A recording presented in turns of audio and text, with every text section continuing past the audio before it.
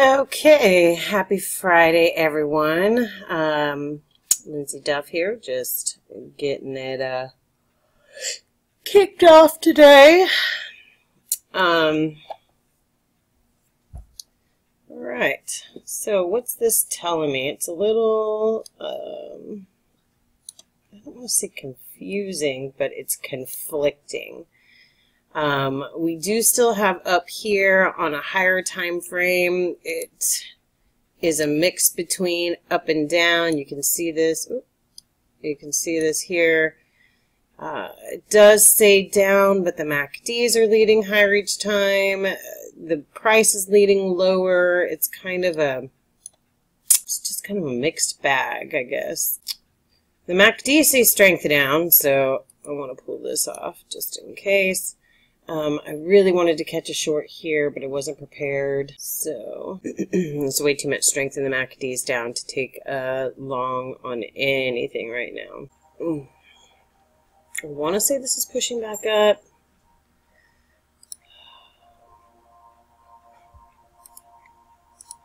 So what I'm going to do. So these MACDs are reacting here. They're not pushing down.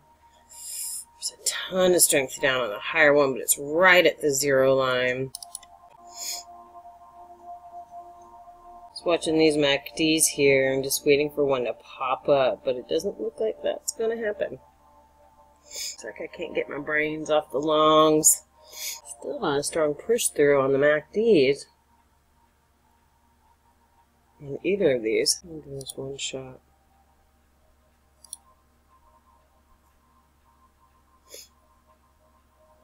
Little late on giving it a shot. It's these MACDs right here, the higher pivot here. This may come back and stop me out because I got such a terrible entry. Hmm, this lower pivot here is not looking great.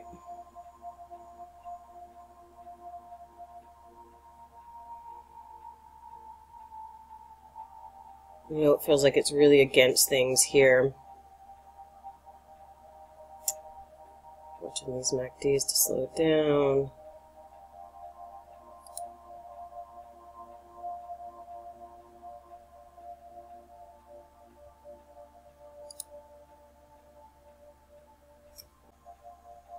It's this very weak movement in the MACDs that really has me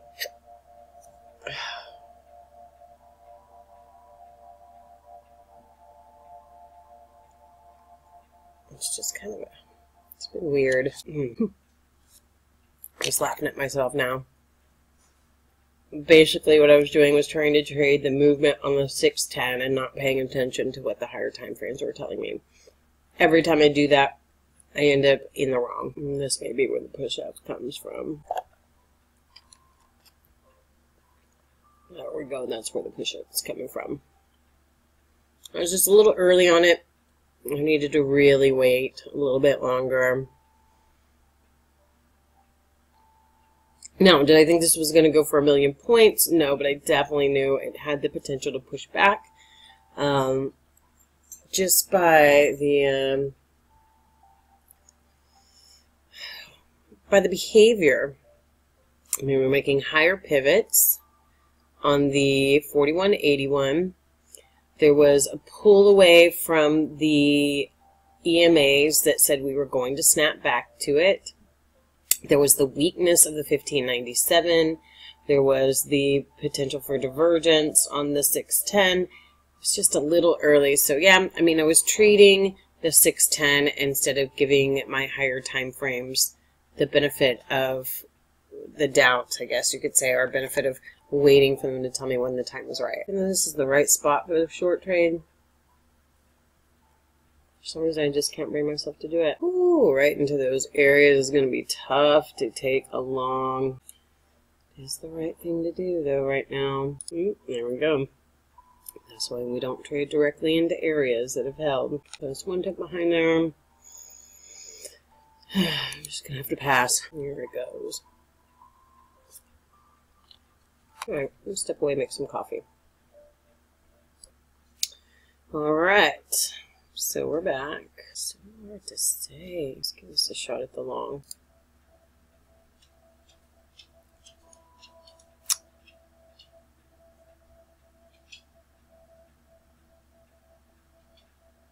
Watching this, MACD's not taking off.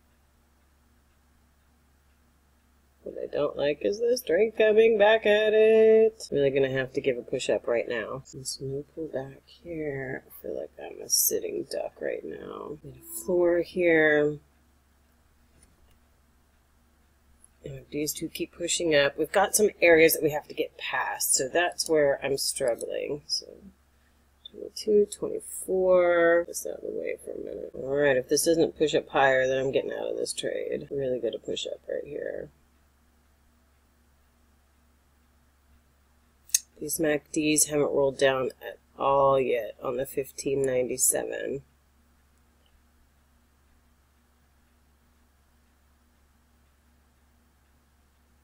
They're still angling up. These flat EMAs are really helping me to stay in this. It really doesn't want to be two ticks behind here, which is one tick up from where I'm at. And listen to myself and get out here. Or reverse. Everything is saying down. So evaluate about that, that about yourself, Lindsay.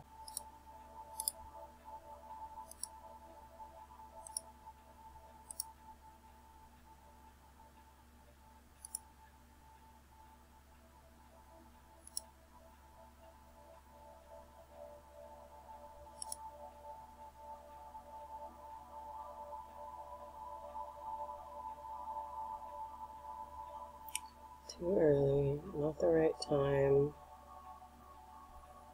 Didn't listen. Whoa.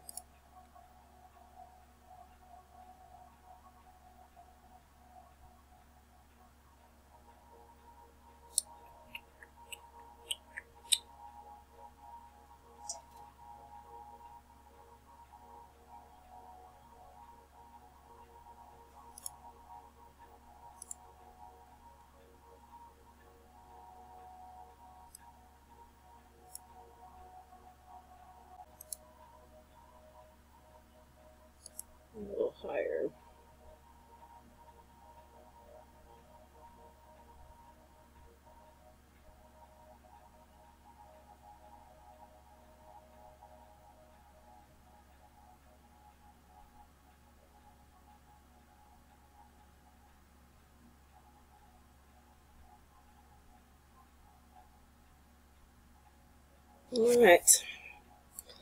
Let's let this puppy go.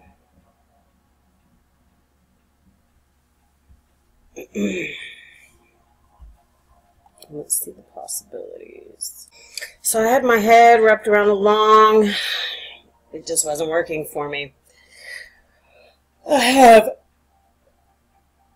had my uh, thoughts uh, around some other things today. I had to take the kids to camp this morning and going out of town in a little bit. So, yep. So what needs to happen here at this point is it needs to really push through here. The MACDs are struggling a bit.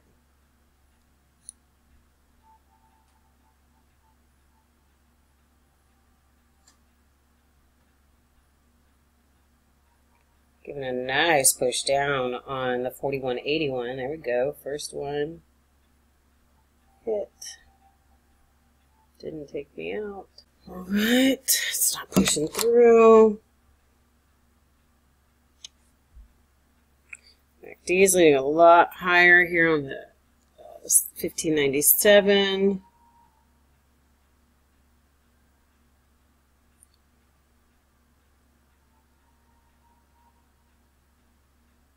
I really don't anticipate this area to hold it up. So let's go ahead and take this one out.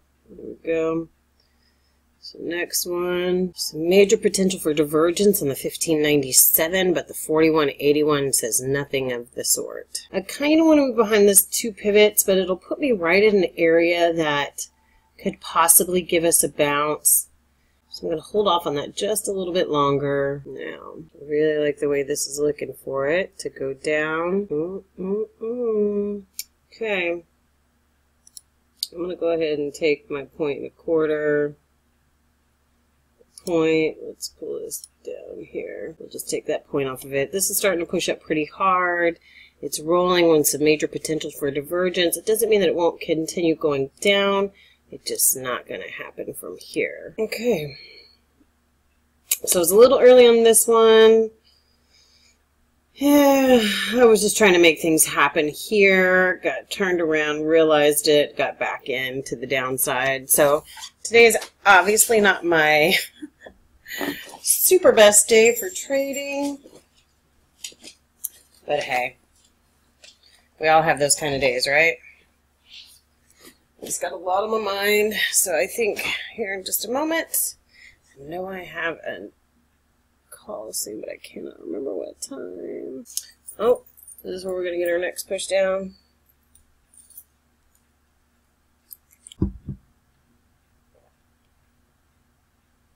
All right. So sometimes I do this. I mean, I'm in, I was anticipating a push to the upside. I did. I was a patient and didn't wait for it. I mean, eh, I could have taken it here and got a little bit of profits. This one was just impatience and it came back to bite me the boo boo. I couldn't even get out in time. This one, yeah, still impatience. I had room to run back to the EMAs here, but um, it really was showing some impatience on my part. Um, and then turned around, took the short, took it again, waited for a pullback just a little bit further. I had high hopes because it hadn't worked out in the opposite direction. So I was like, ooh, it's going to go forever. But no. Now we've got a major W pivot happening. Um, yeah, I mean, it was, it was, we're able to anticipate it looking at this right here. Um, and I'm going to show you something else. And, you know, I have this sitting off to the side. I do not use it as a major chart for trading. I use this just to see, you know, where things are at and there was a support area even though these EMAs were wide open look how we are above the zero line so um, there was a great area for a bounce to the upside it was just I was very impatient waiting for it to happen sometimes the weirdest things will happen Oh, someone sent me a chart I want to look at it really quick nice Yeah, this is the W pivot. But it's already at the top with the W, or, yeah. It's just, can't take it here. Hmm. Alright, so let's see what I've done today. I've got a bunch of different things that I want to... Uh, God, I sound like a broken record every time I said that. Say that. Like I made... What, almost 11 points on this, but I was down four to start with, which I didn't even realize. So let's see.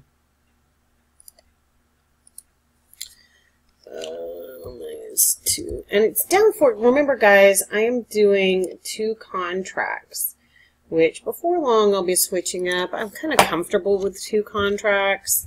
Um, it does pretty well for me. So later on I might switch it up, but for now I'm going to stick with that for a while. Um, I do suggest that people switch it up, but you know, it's really what is your personal preference. Probably going to stop it there for the day, but we're going to watch just for a little bit longer. Okay, so it seems as though I have no um, concentration left. I've been working on some things. I'm actually leaving to head out of town. So that's probably part of why my focus has been so off. I took the kids to camp today. You know, paying attention to those things are very, very, very important because um, you can really determine, you know, what your day is going to be like if you are certain to pay attention. And if you're just kind of la-di-da in it, then you know, you end up giving back a lot of money. And so I was la-di-da in it. Yes, that's a technical term earlier this morning. And now I, you know, I went back and got into focus mode. You know, I did see the, uh, the short happening here by that time, brain is already not even with the market anymore. So, anyways, that's going to wrap it up for today. I hope you'll have a fabulous weekend. Um, you know, I may or may not be trading as we're coming up to you know, Independence Day here. So, which is on, I don't even know what day it is, to be honest with you. I mean, obviously it's the 4th of July, but I don't know what day, day. I just don't pay attention to that kind of stuff as often as I should. So I'm looking at the calendar really quick. That is on Tuesday. So, Monday, we may not be available. Um, but that's about it. So, I hope y'all have an excellent weekend. Don't forget, like, subscribe, send your friends. Uh, you know, if they like trading or anything, or if you enjoy what I do. If you don't, then don't send anybody. I'm cool with it. Either way, have a wonderful weekend. And I hope that all your little trading dreams come true.